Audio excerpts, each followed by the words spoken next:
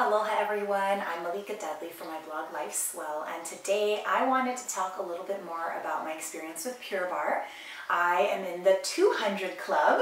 I know that's not a thing, but I've done another 100 classes, answer some of your questions, some of the most frequently asked questions that I get from people um, about barre.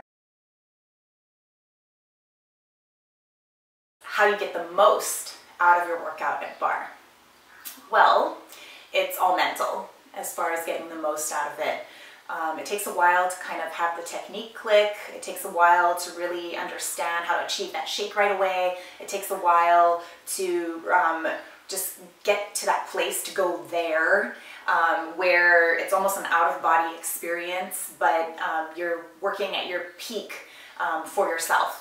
And so that's what I try to do every class. I try to go there. I go to that spot. It's almost like um, when when you're in labor.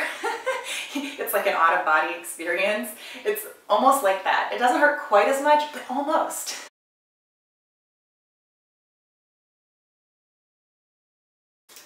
And a question that I get kind of going along with um, how do I get the most out of my workout is some people tell me um, I've been going for two months and I still don't shake or I don't sweat or I don't feel like this workout is for me um, because it's not challenging me.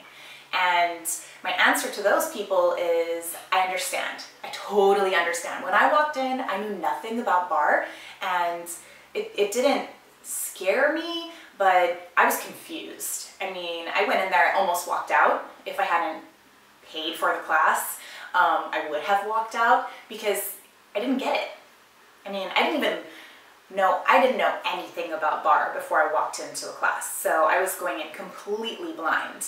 Um, so I went to a Breaking Down the Barre class, which really helped to kind of at least give me a foundation. So now I'm starting with the foundation of knowing, you know, what all the terminology means. Lift, tuck, um, extend, down an inch, up an inch, you know, um, contracting this or that. And so all the words now start to make sense in your mind so you can go from your mind to doing it in your body. So, I mean, it took months, months and months and months for me to actually um, understand the technique to be able to give myself the best workout in a Pure Barre class.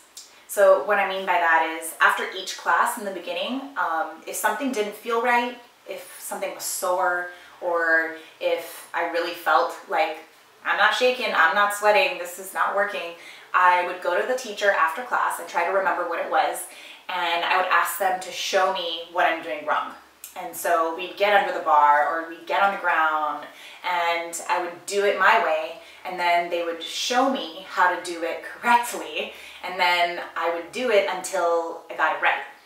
And even then, after asking questions every single day, after months and months and months, I don't know, it's just one day, it's like an epiphany and the light bulb goes off and you go, oh, that's what they meant. For me, it was really understanding what it meant to just isolate and contract the muscle you're working on. And so that was the aha moment for me, you know, in arms when they say, you know, work through honey, you know, and that you're contracting up and down. And so I'm shaking all the way up and all the way down because I'm actually focusing on the shoulder and the bicep and even the tricep as I come down. And so it's being able to put all of your energy and strength into contracting just the muscle that you're supposed to be working on. Um, it takes time because you also want to be relaxed in other areas. You want your shoulders to be down, you want your neck to be relaxed and in line with your back. And um, it takes a while to actually build the strength up to have the right form. And so that really took a while as well um, for me to achieve.